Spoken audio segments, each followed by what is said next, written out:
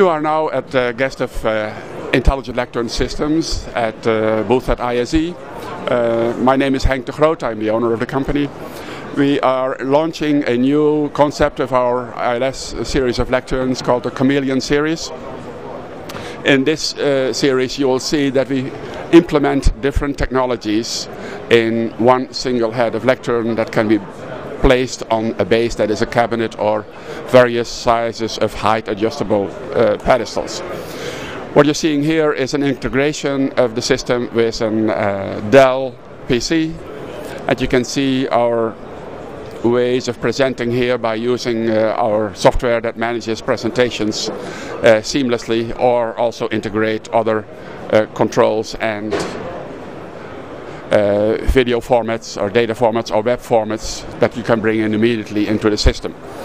We're going to walk around a little bit to show you various ways of implementing this. So this was with a 23 inch monitor uh, of Dell. This is with a 27 inch very large system where you can see the same ways of presenting information uh, in a system that has an integrated microphone, USBs for your presentations, uh, HDMI switch, up and down features for uh, adjusting the height of the lectern.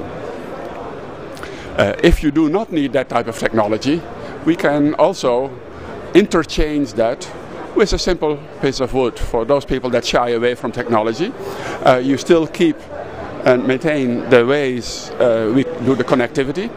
Uh, you could collect up the, the laptop here and use a simple uh, but nice shaped lectern on various pedestals.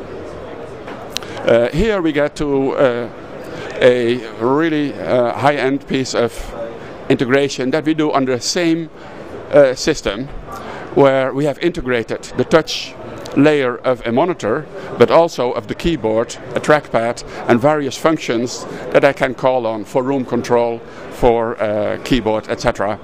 And run my presentations again from this single layer of glass. Uh, one more point I'd like to make is that we integrate audio into the lectern as well. Uh, that means in the front edge you will see a system that comes up with sound from here and from a subwoofer in the base, uh, enough to support a room of say 100 people. So with that I'm concluding my tour of the new Chameleon series of ILS. If you like more information, find it on www.intelligentlecterns.com.